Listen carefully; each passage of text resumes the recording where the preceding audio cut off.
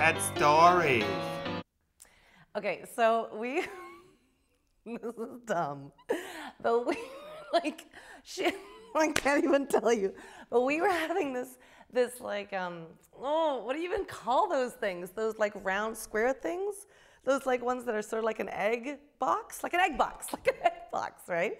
So it was like an egg box that was in like a sunny, dark, rainy